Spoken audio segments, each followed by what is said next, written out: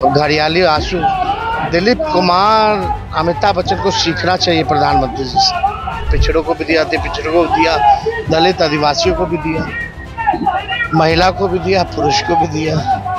तो ये लोग बरगलाने की बात करते हैं। ये लोग देखो नकारात्मक राजनीति करते हैं प्रधानमंत्री नरेंद्र मोदी लगातार चुनाव में मुसलमानों का मुद्दा उठा रहे हैं और वो कह रहे हैं कि कांग्रेस इंडिया आएगी तो मुसलमानों को फ़ायदा होगा जबकि आप रोज़गार की बात कर रहे हैं। हम लोग तो सत्रह महीने सरकार में रहे हमने तो सबको फ़ायदा पहुँचाया है नौकरी दे के हिंदू को भी दिया मुसलमान को भी दिया अगड़ों को भी दिया पिछड़ों को भी दिया अति पिछड़ों को भी दिया दलित आदिवासियों को भी दिया महिला को भी दिया पुरुष को भी दिया।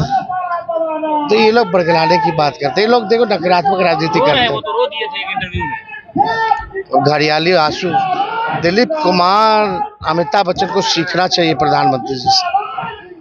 गुण सीखना चाहिए कला का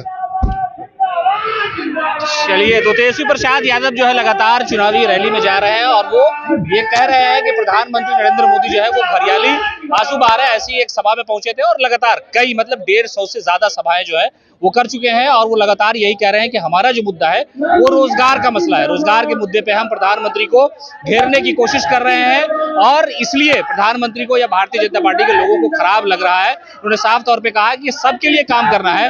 इंडिया गठबंधन की बात हो या ये कि जो भी चीज़ें हैं वो सभी समाज के लोगों, सभी धर्म के लोगों के लिए जो योजना बनाई जा रही है, जो घोषणा पत्र है, चाहे वो अग्निवीर योजना को लेकर के अलग अलग तरह की जो बातें कर रहे हैं जहाँ जहाँ भाषण में वो जाते हैं, वो कह रहे हैं कि प्रधानमंत्री घबराए हुए हैं और इसलिए इस तरह की, हालाँकि पहले भी कई सारी रैली में कई जगह पर तेजस्वी प्रसाद यादव ने ये कहा है कि ये जो प्रधानमंत्री या भारतीय जनता पार्टी के लोग दावा कर रहे हैं, उन दावों में सच्चाई नहीं है। चुनाव के जो परिणाम होंगे, वो इंडिया गठबंधन के पक्ष में होंगे और एनडीए के जो लोग हैं, वो बेला वजह का दावा कर रहे हैं। हम सबकी बात कर रहे हैं, जबकि प्रधानमंत्री जो है सिर्फ़ एक धर्म की बात कर रहे हैं, धर्म की राजनीति उनके लिए इसलिए आ गई क्योंकि उन्हें लगता है कि चुनाव में वो शिकस्त खाने जा रहे हैं।